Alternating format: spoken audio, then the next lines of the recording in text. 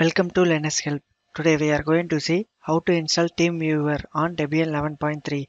TeamViewer is remote access and remote control software for computers and other devices, allowing maintenance and repair of TeamViewer. It is mainly used to access computers and other endpoints remotely, as well as to control and maintain them. First I will check the OS version.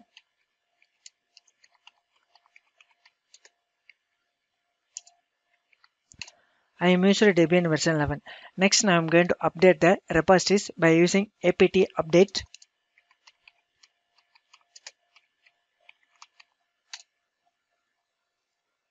The TeamViewer installed before, we have need for the dependency packages. So first, I will install for the dependency packages.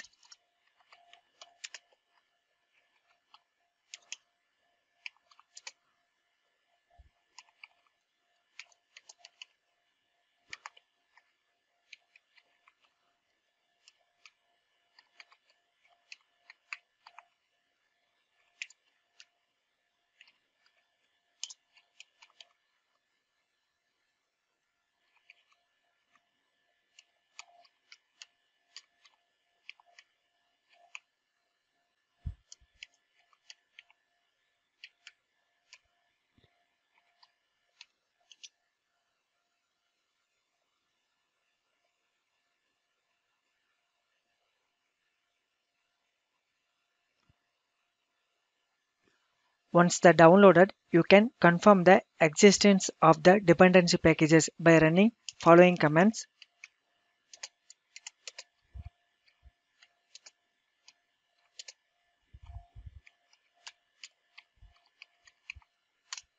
Next, go to install the TeamViewer by using following commands.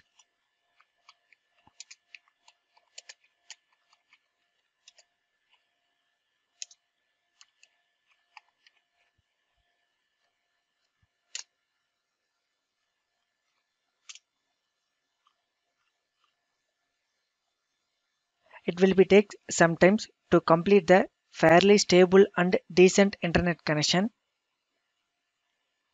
Once it is complete the installation, next to go to the menu and search the TeamViewer. Once it is launched, accept the EULA and DPA and continue. Finally, the TeamViewer application will come into the full view. You can share your TeamViewer ID and password to the remote users who can now log in to your desktop. The another way to log into TeamViewer. Now I am switched to the standard user. This is for the normal user. Now I am going to launch the TeamViewer.